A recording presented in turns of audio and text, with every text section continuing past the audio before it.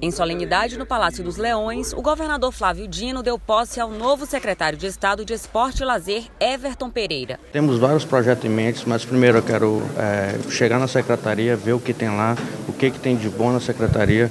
Vamos manter alguns projetos, mas os meus projetos só em 2018. Primeiro, esse ano, vamos manter o que temos na secretaria. Durante o evento, o governador falou da importância do esporte para as políticas públicas do Estado.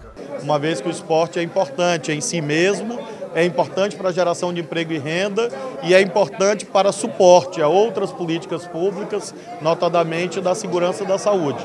Então o secretário se soma à nossa equipe e com certeza é, o trabalho continua com muita força, vai se ampliar, porque nós acreditamos no esporte como um dos vetores de um projeto de desenvolvimento da nossa sociedade.